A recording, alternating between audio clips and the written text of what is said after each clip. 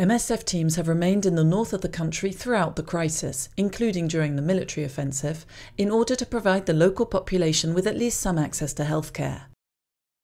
Medical and surgical care projects have been able to treat people wounded in the shelling in Timbuktu, Douentza, and Ansongo, and a team arrived in Konna at the end of January. On our first visit, we were a team of four doctors and nurses, and we had medical kits so that we could treat people.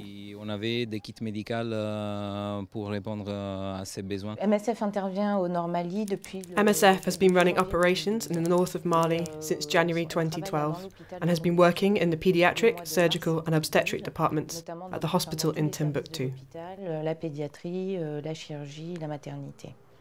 In the past few weeks, MSF has treated 35 wounded patients in Timbuktu. In response to the number of people fleeing the conflict, MSF is also running programs in refugee camps in Mauritania, Niger, and Burkina Faso.